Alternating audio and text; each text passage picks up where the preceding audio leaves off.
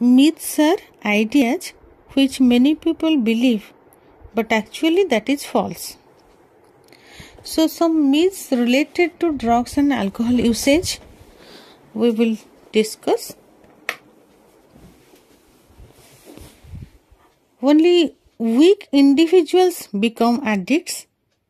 Number two, drugs give mental and physical strength.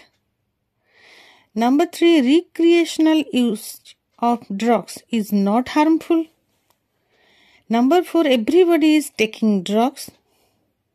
Number four, drugs help to forget failures and painful events of life. Number six, drugs help to keep peer group status. Number 7. Drugs improve your concentration. Number 8. Darker drinks are healthier. Number 9. Drinking is a go- good way to take the edge of chronic pain. Number 10. Alcohol gives you warmth. Number 11. Beer is good for your hair. And number 12. God and sages used to drink so we can drink.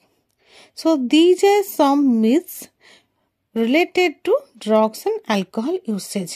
That means ଏଇ ସବୁ ଜିନିଷ ଏଇ ବାରଟା point ହେଉଛି ଅନ୍ଧବିଶ୍ୱାସ ତେଣୁ ଏଇ ଅନ୍ଧବିଶ୍ୱାସକୁ ଆମେ ଗ୍ରହଣ କରିବା କଥା ନୁହେଁ କିମ୍ବା ସତ ମାନିବା ଉଚିତ ନୁହେଁ ଥ୍ୟାଙ୍କ ୟୁ